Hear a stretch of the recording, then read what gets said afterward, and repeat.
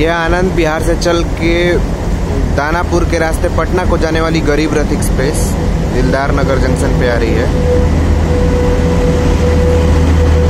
W A P five locomotive के साथ है ये।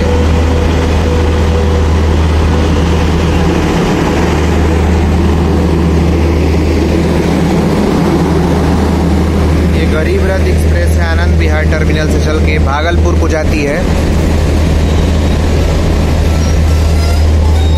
और यहाँ पे एक समस्तीपुर का W E G three A locomotive लगा हुआ है। और ये दिलदार नगर रेलवे स्टेशन है।